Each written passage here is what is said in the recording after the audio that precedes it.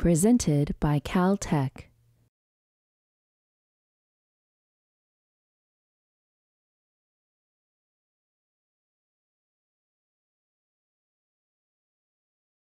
Well, it's a great pleasure to introduce Krishna. You might think that I'm uh, doing this introduction because uh, he was a prize po- postdoctoral scholar in Lauritsen, and that's true, partly. And you might think I'm doing this introduction because we both have a strong and common interest in the strong interactions, and that's uh, true. But I'd like to think the real reason that I'm doing this introduction is because of our common heritage. We both grew up in Toronto, and uh, we're undergraduates at Canadian uh, universities.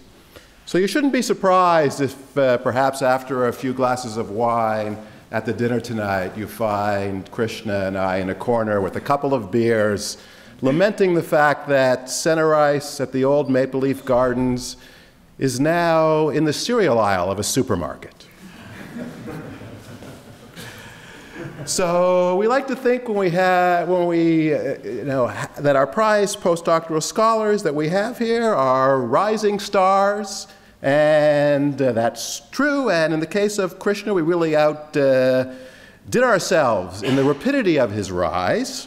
He came to us after a junior fellowship at Harvard in 1996, uh, and he left us in 1997, taking up a faculty position at uh, MIT.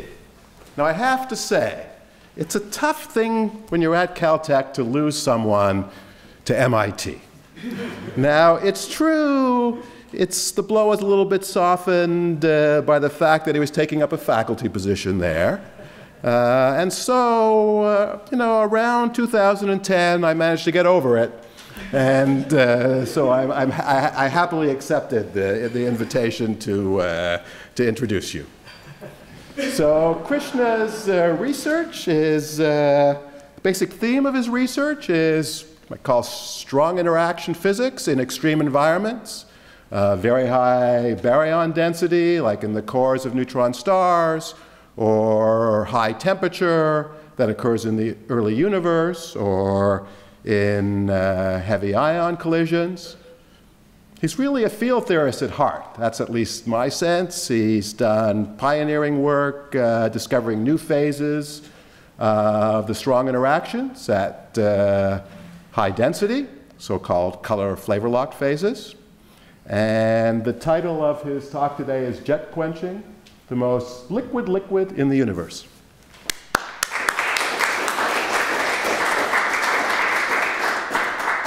Thank you very much, uh, Mark, my fellow long suffering Toronto Maple Leafs fan. Um, the last time the Leafs won the Cup was in 1967.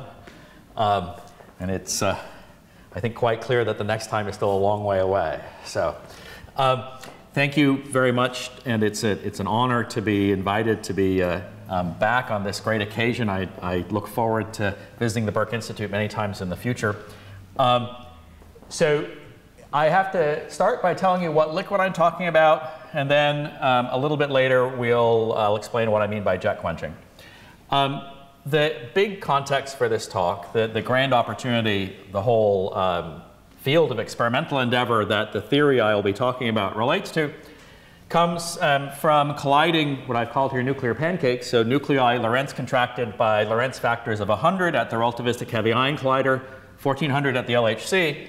By slamming these two nuclei together, what you're doing is making little droplets of Big Bang matter. The stuff that filled the whole universe few microseconds after the Big Bang is being recreated for the purpose of studying its properties.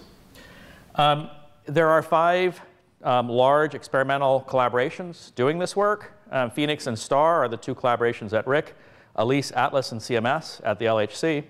And these experimentalists are answering questions about the properties of the stuff that filled the microseconds old universe that can't be addressed by any conceivable astronomical observations made with telescopes and satellites because the length scales that they probe it on are so different. They're studying its material properties as opposed to its cosmological properties. Um, and it turns out that the properties of this stuff are interesting in ways that was not anticipated when uh, these goals were first defined more than 20 years ago. Um, they're interesting because this, this stuff, which turns out to be a liquid, shares common features with forms of matter that arise in condensed matter physics, in atomic physics, and in black hole physics, and that pose challenges that are central in each of these other fields. Um, so I just had the phrase quark gluon plasma on the other slide. That is the original name of this liquid. Um, what is quark gluon plasma? Well, um, as I would have described it um, 20 years ago, it sounds boring, actually. It's the infinite temperature phase of QCD, which means that entropy has won over order. There's no interesting symmetry breaking. The symmetries must be those of the Lagrangian. And furthermore, asymptotic freedom tells us that in the infinite temperature limit, this stuff is a weakly coupled gas of quark and gluon quasiparticles. So that doesn't sound very interesting to a condensed matter physicist. Um, between then and now, lattice calculations of QCD thermodynamics um, starting in the 90s showed that there is indeed a, a, crossover transition, like the ionization of a gas, that occurs in a narrow range of temperatures around 2 trillion degrees in the wrong units, 175 MeV in the right units. And at this temperature, if you think of the universe cooling down, the universe is filled with quark gluon plasma, and it, that, that stuff condenses into hadrons, protons, neutrons, pions. And what experiments are now doing is um, recreating little droplets of stuff above this temperature reproducing the stuff that filled the microseconds old universe. And um, about 10 years ago, we learned that unexpectedly, this stuff is a liquid. Um, I won't spend too much time um, um describing this ten, now 10 year old discovery, but I do want to say a few words about it.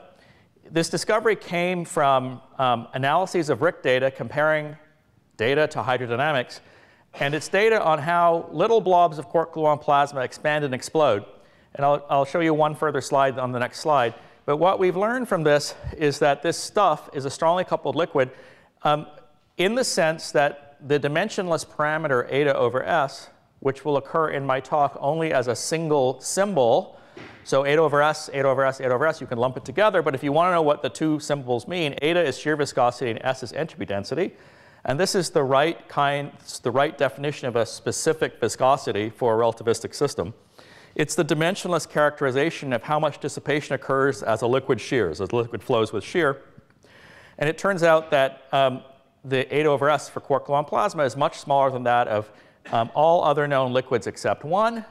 I won't give a talk now on the except one, but for those of you who are curious, the except one is ultra-cold fermionic atoms at nanokelvin temperatures instead of terakelvin temperatures um, with, an, with atom-atom cross-sections tuned to infinity.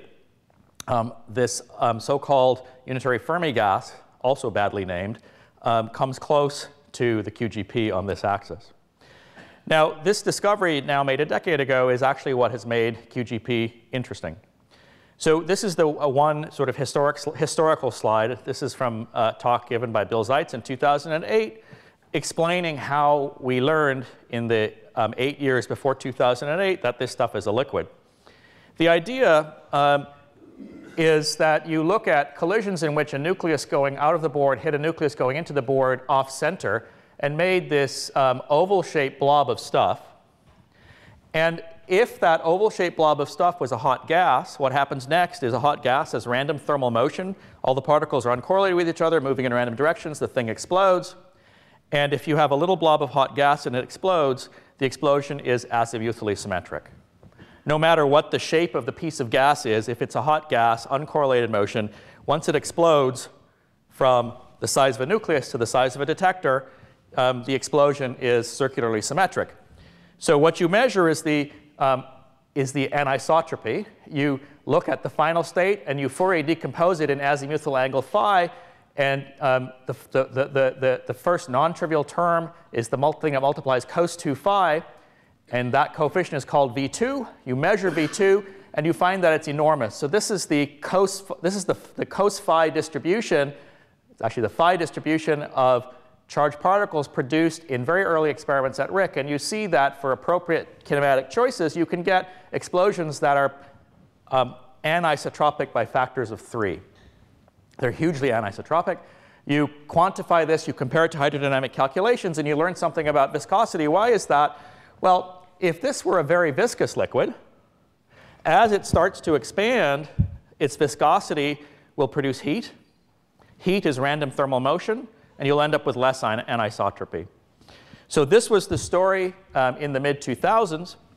Um, between then and now, this line of development has um, greatly um, um, become much more precise and much more nuanced, and really deserves comparison to what cosmologists do when they look at the CMB. So this is the CMB on the left, it's the Big Bang. And on the right, it's a, it's a little bit unfair because on the left, that's data. On the right is theory. Um, on the right is a theorist's calculation of what a heavy ion collision might actually look like. Um, it's not a cartoon like this. When two nuclei collide, they are intrinsically lumpy. There are quantum fluctuations, and there are just the fluctuations in the positions of the nuclei.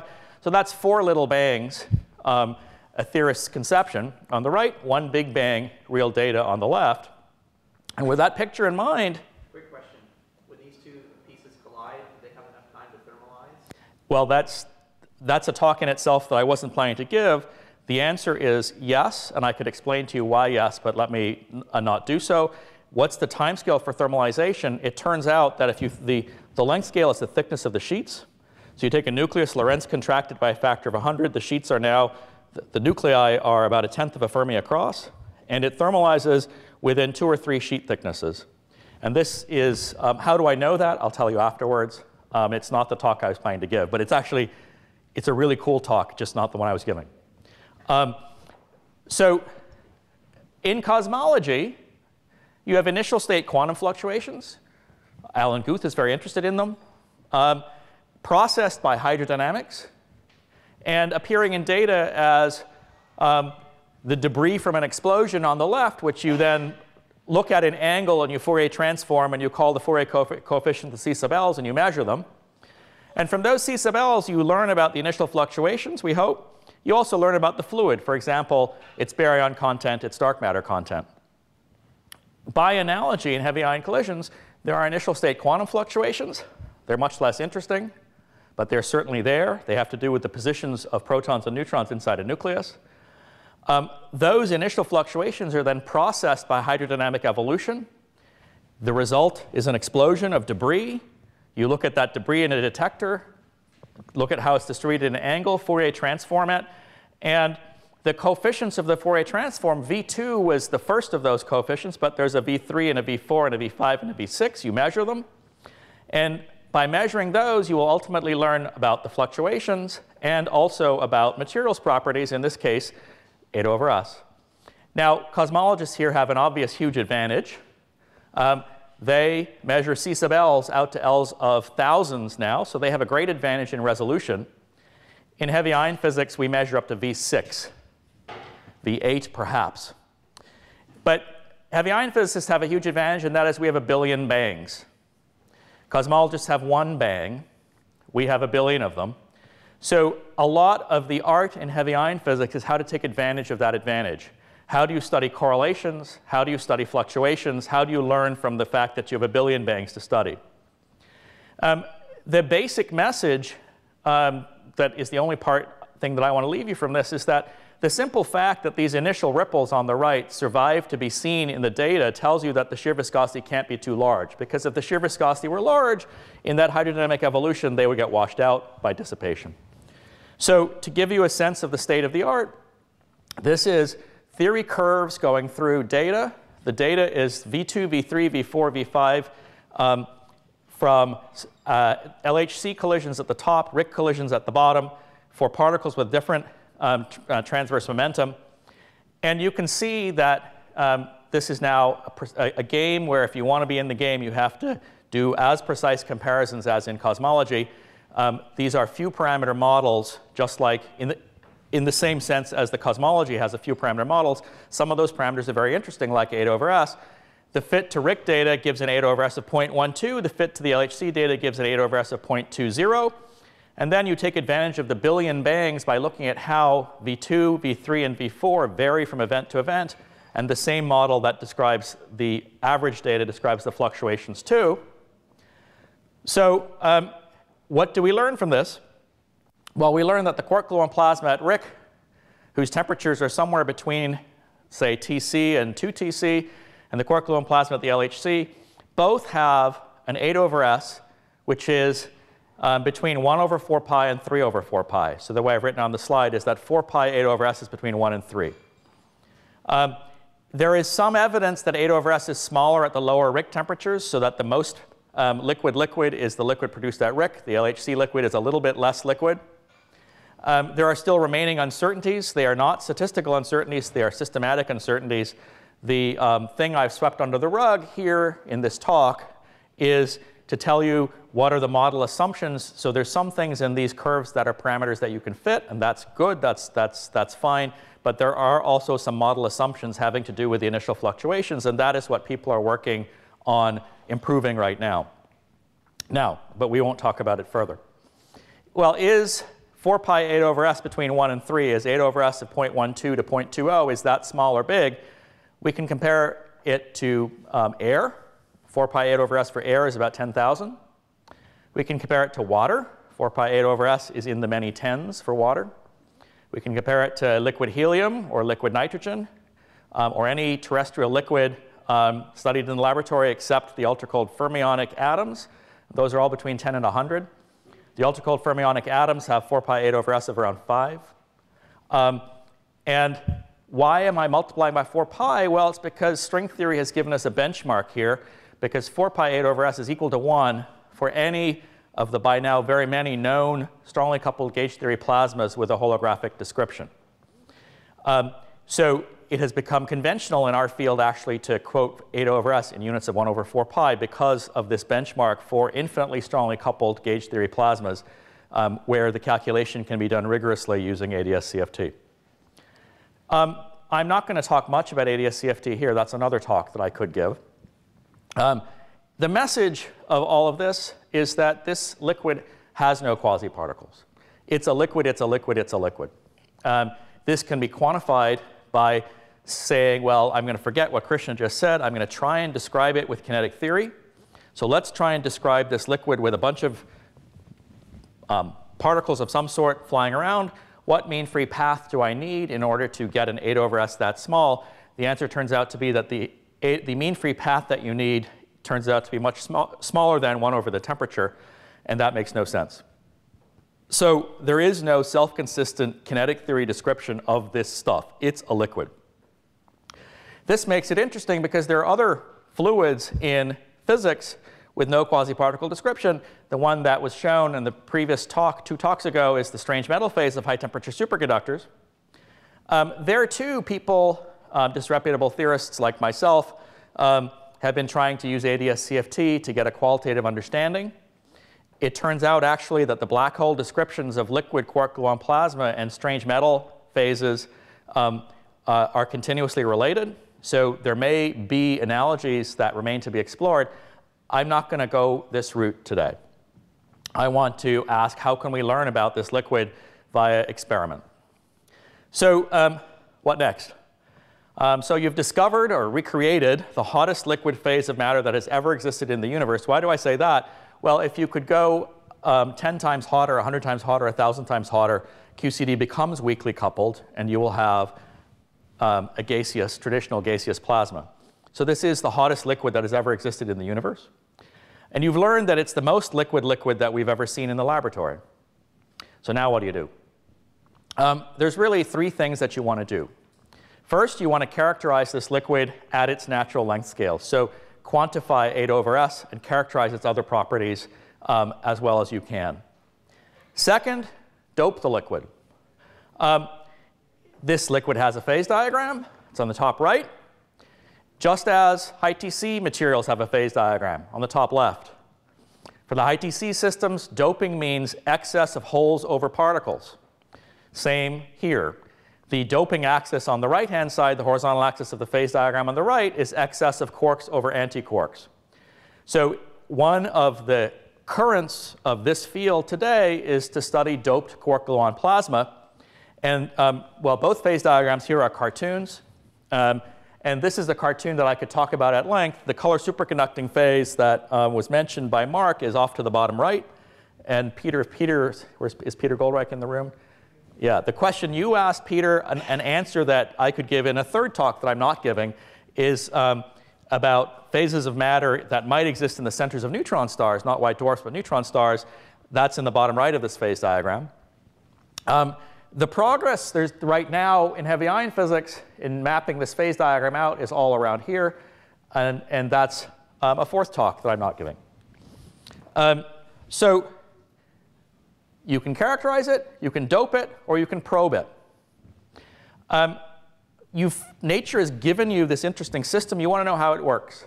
You want to probe it at multiple length scales, and in particular at short length scales. Um, if you can find and build a sufficiently powerful microscope, this liquid, you know from QCD, it is at short distance scales made of weakly coupled quarks and gluons. Um, Politzer and friends don't have to give their prizes back. Um, QCD is asymptotically free. So if you can probe the quark gluon plasma at short enough distance scales, it is made of weakly coupled quarks and gluons. And so the, the, the big question for the coming decade is how do weakly coupled quarks and gluons assemble themselves such that what emerges is this strongly correlated liquid. Um, so you need a microscope. Here's an example of a microscope for the condensed matter system. This is an example of a microscope for the quark gluon plasma. Um, and that's the direction in which I want to go. So it'll take me, um, I'm going to get back to microscopy only at the very, very end. Um, I want now to tell you about a way of probing quark gluon plasma that um, the, most of the rest of the talk will be in the character of characterizing its properties. True microscopy is going to wait for the last couple of slides. But this, I believe, is the best path that I know towards true microscopy. What you would like to do is take a blob of quark gluon plasma and do, do a scattering experiment on it. Um, this is the closest you can come to that. Um, so what is jet quenching?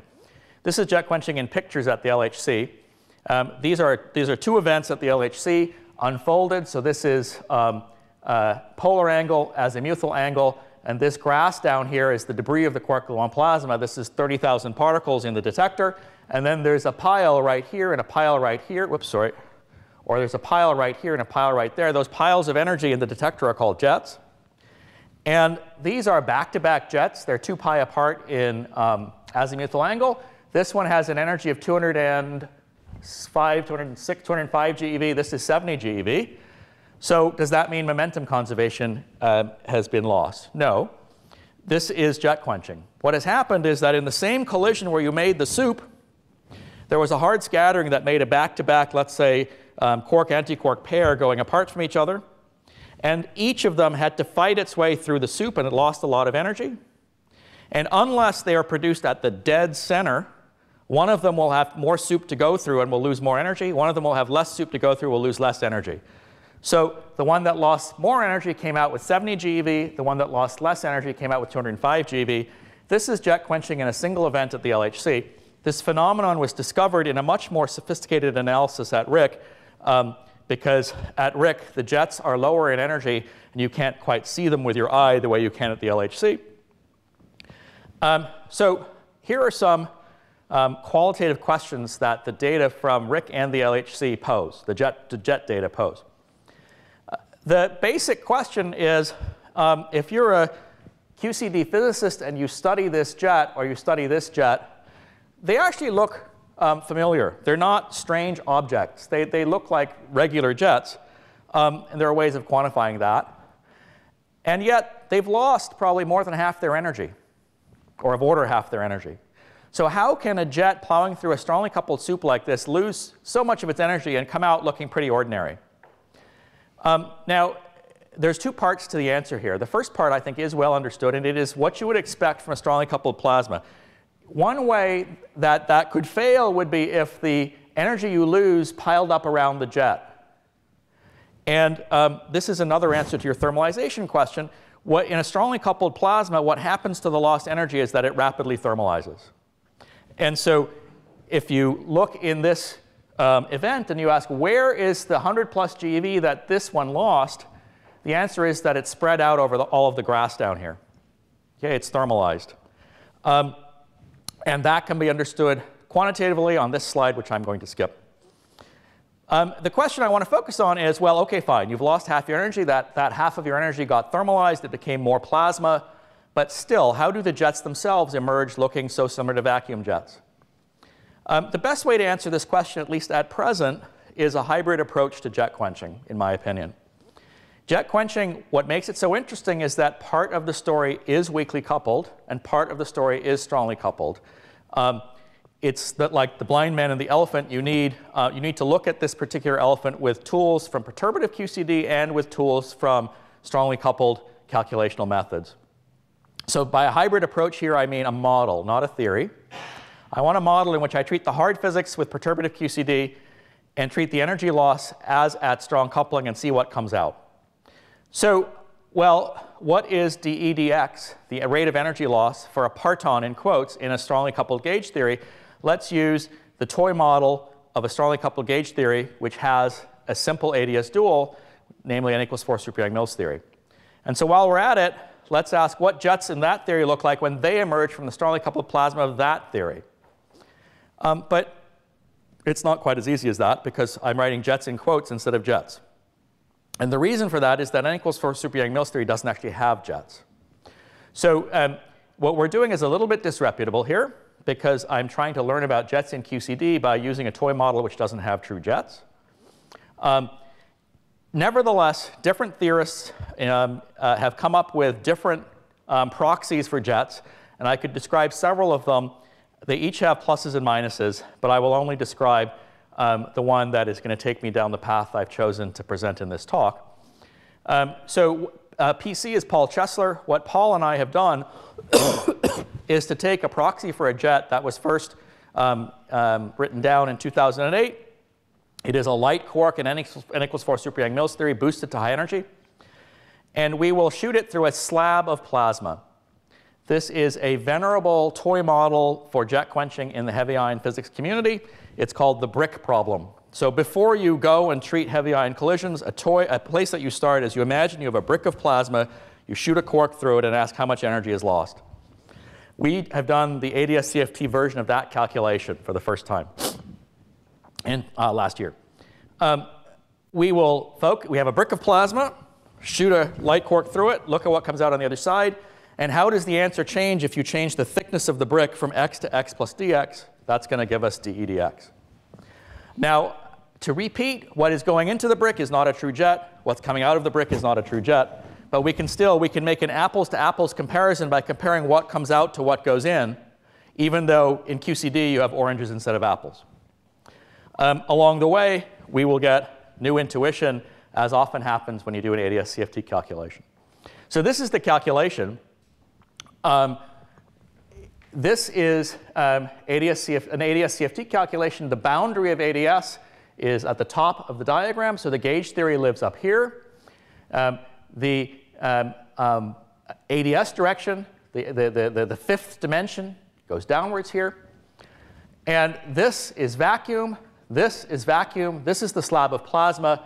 And what that means is that the metric in the bulk has a horizon, which is located here, between 0 and 10 on the horizontal axis. Now, how do I make a jet? In quotes, this is, um, I produce at this red dot, I produce a string whose endpoints are near the boundary, shooting one to the right, one to the left. This is a quark-antiquark pair in ADS. Um, and the quark and antiquark are joined by a string, and I've taken a photograph of that string at an early time, then the next time, then the next time, then the next time. So the end point of the string is following a black curve, which you see here. The string itself, it's here, and then it's here, and then it's here. Ooh, then its shape changes as you drag it through the plasma. Then it's here, and then it's here, and then it's here. From this, you see that the shape of the string is pretty similar here as there. That's what tells you that the jet that emerges on this side is very similar in shape to the jet that went in. And this comes just from geometric optics because what are these blue lines? These blue lines are null geodesics in the bulk. So the calculation is finding null geodesics in um, the gravitational metric. What is energy loss? Energy loss is blue lines falling into the horizon. So you can think of each of these blue lines as bringing a packet of energy with it. These packets are lost. These packets get out. So the energy loss is you look at how much energy, how many blue lines were there here, how many blue lines get through. That's the energy loss. That's the energy that's not lost. Um, in this particular calculation, 64% of the incident energy comes out on the far side. the jet that comes out is broader in angle. That translates, that is related to the fact that this black, this endpoint is, is drooping down at a larger angle than this one. That's um, an increase in the opening angle of the jet. And everything I just said is completely geometric. So jet quenching in a perturbative QCD calculation is, um, well, it's many things, but it's certainly not intuitive. And here we have geometric intuition for everything. Uh, this was fake in the sense that I made my quark way off to the left here, much closer to what we actually want is to produce a quark right at the edge of the plasma, shoot it through the plasma, see what comes out. That's easy also. Um, what do we get from this? Well, we get that the shape of the outgoing jet is really the same as the shape of the incoming jet. Um, its energy has to be rescaled and its angle has to be rescaled, but when you rescale both, the shape is really the same to better than a percent. It's not mathematically identical, but it is very, very uh, similar, as you can see. And we get an analytic expression for dE dx. This is dE out, dL. L is the thickness of the, of the slab. And it depends, it has a right-hand side, which is um, reasonably complex, but not that complex. Uh, many people in the heavy ion community have always used power laws for the right-hand side here. One message for the heavy ion community is the right-hand side is not a power law. Um, it depends on a stopping length. That stopping length is parametrically given here. And what we are going to do in the next part of the talk is this is the deliverable from ADS-CFT. And I'm going to now use this. I'm going to glue this onto perturbative QCD to make a hybrid model. So this is what I'm going to take from the ADS calculation is this expression for DDX. This is how the, the quark loses energy. It loses most of its energy in the last 20% of the distance it travels if you let it go all the way to its stopping length. Um, this is an analytic calculation. There's a parameter here, kappa. Kappa is a dimensionless number. We, in the following, will treat that as a fit parameter. So we're going to try applying this formula to QCD with this as a fit parameter, and we'll see how it goes. So in this hybrid approach, we um, take the dEdx from above, and then we take a jet from Pythia, which is Pythia is perturbative QCD incarnated into a Monte Carlo code. And what Pythia describes is a high energy parton which fragments into a shower. And for every rung in that shower, every line in the shower, we will apply energy loss along the line. There is, this is not theory, this is a model. This is really the dumbest thing that we could think of. This, is, this shouldn't work um, because there's a lot of physics. Um, we, are gluing two theoretical frameworks together uh, blithely. Um, so the, the, the, the, the, the logic behind this model is that the interaction of a jet with a medium is intrinsically a multi-scale problem. The production and the fragmentation of this hard parton should be described by perturbative QCD, but the energy loss in the medium shouldn't be, and that's what we're trying to capture. Now, we're also, forget the brick. If we want to compare to data, a brick is no good. So we now will take somebody else's hydrodynamic calculation of one of these expanding cooling droplets and um, apply this formula for dEdx in that droplet and that droplet has a temperature which varies with position and time. That affects this, which affects this, which affects this. Um, so these are the ingredients for the model. It has one free parameter and a whole bunch of model assumptions, but one parameter. So we need to fit that parameter and then compute observables. So um, I'm going to show you 18 slides of LHC data in a flood just to give you a little bit of the gestalt of how the comparison goes. Um, for people like Lance sitting there and Svi if he's in the room and David if he's in the room, um, I can talk much more afterwards. So what's the simplest thing you look at? Well, it's just the number of jets with a given momentum. Um, if all the jet, the number of jets with a given momentum is some falling curve as a function of momentum, and if everybody loses energy, the curve is shifted to the left, which looks like the curve is shifted down. So you count the number of jets in gold-gold in lead-lead collisions, divide by the number of jets in PP, and you find that there's fewer jets. This is jet quenching. The black is CMS data. The red is our model. And this is where we do the fit. We fit our model to this one data point. Okay, so this, this agreement right here is a fit. Everything else is a result. So this is number of jets with momentum from 100 to 260 GeV, data and model, for um, head-on collisions. Now you increase the impact parameter of the collision, the suppression gets a little bit less. You look at more grazing collisions. You look at um, truly grazing collisions, our agreement has gotten worse.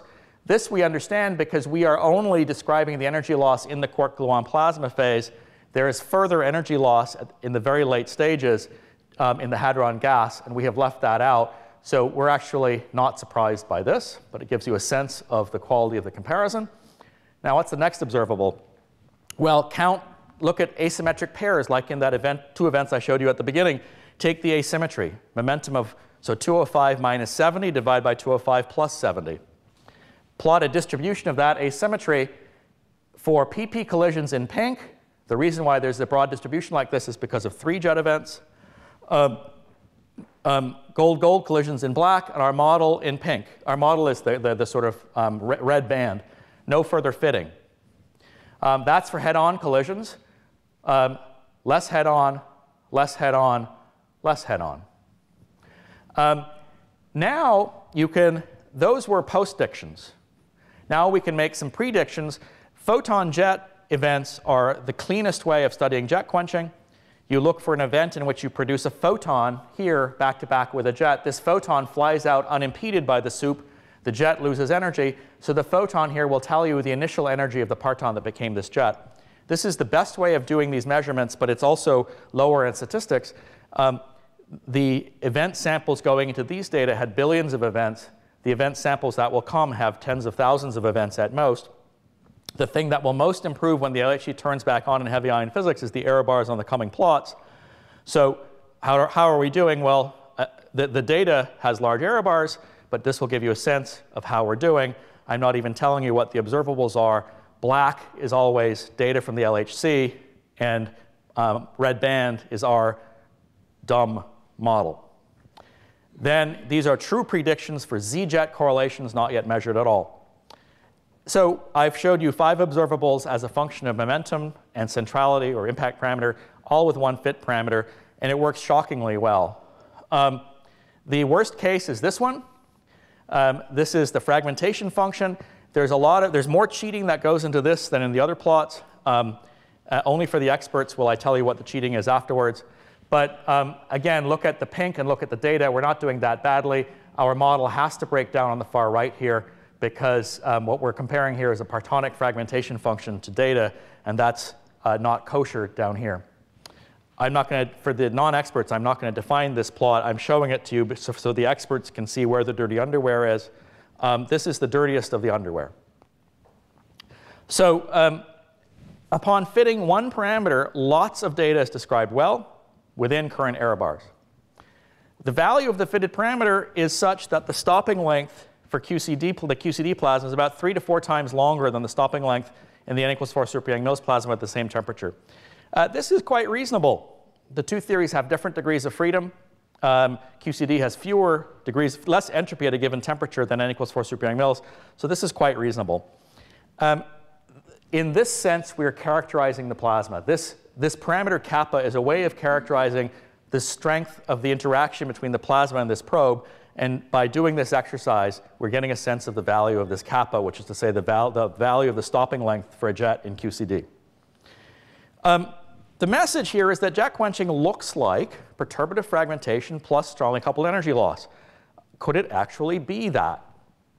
Um, I hope not. And all this success poses a critical question.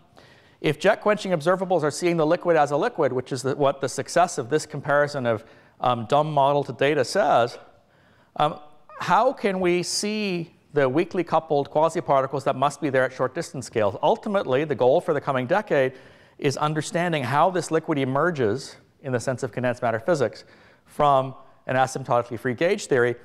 Um, if the only thing jets do is see the liquid as a, as a liquid, that's bad news. So the challenge going forward is how can we use jets to resolve the short distance structure of the liquid? Um, this will require advances in theory and experiment. Um, jet quenching phenomena involve physics over a range of scales. So somewhere in the data, there's information about the medium on multiple length scales. We need to figure out how to tease it out. Um, in this context, the long list of successful comparisons that I showed you um, in the previous um, raft of slides are, in a sense, something of a disappointment. Um, although, of course, I'm, I'm, tickled too. But um, the, why are they a disappointment? Well, what is this hybrid? What did I glue together? I glued together weakly coupled vacuum physics and strongly coupled medium physics. Um, what I'm interested in is the weakly coupled medium physics. I want to see the weakly coupled short distance structure of quark gluon plasma and then coarsen my resolution and understand how those degrees of freedom organize themselves. So I believe that in the long run, the most interesting uses of this model will be to see where it fails. So how can we make the model fail? Um, what we need is further, more discriminating observables. Um, things that we are working on include um, bottom quark energy loss, photon plus jet, and most important, we need to add one more ingredient into the model beyond just energy loss, and that's transverse kicks.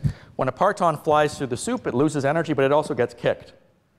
And we have not put that in the model, and that means that at this point, we have not yet tried to fit or look at angular shapes of the jets. And that is where I think the money is to be found. Um, why do I think that's where the money is to be found? Well, um, Rutherford would have understood this point.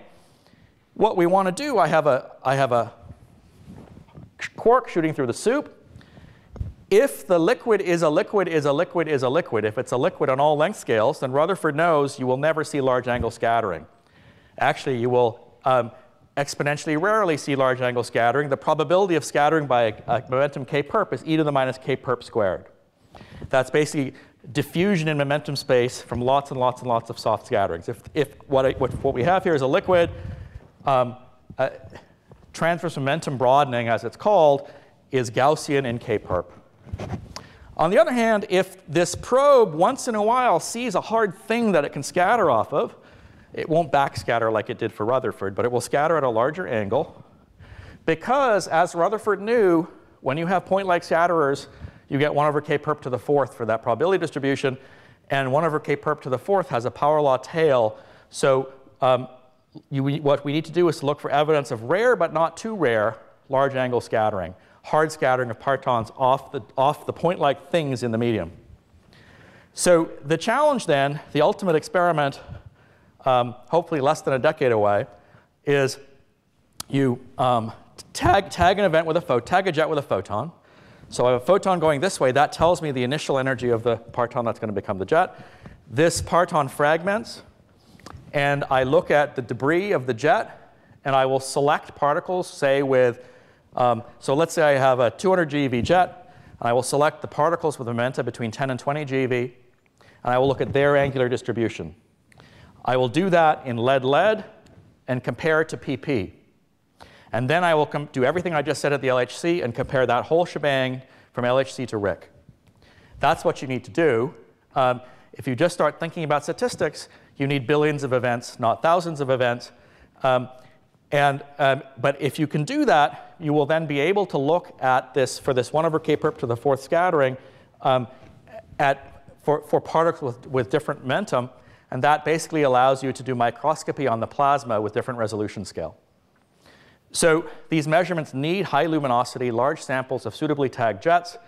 Um, this is coming at the LHC late in the decade, LHC run 3, is supposed to have the required luminosity. Um, at RHIC, what we need is a high rate, state of the art jet detector. This detector has a name, it's called sPHENIX. Um, it's coming, the latest date is 20, the most recent date is 2021. Um, and that was actually, if I go back many, many slides, when I showed you the um, microscope in this slide, this is the sPHENIX detector um, um, at a, a CAD drawing this is supposed to be a real detector in 2021. And I will end there. Um, as I already said on this slide, there's a bunch of other stories that I could have told you, but I decided to tell this one, and I'm happy to take questions.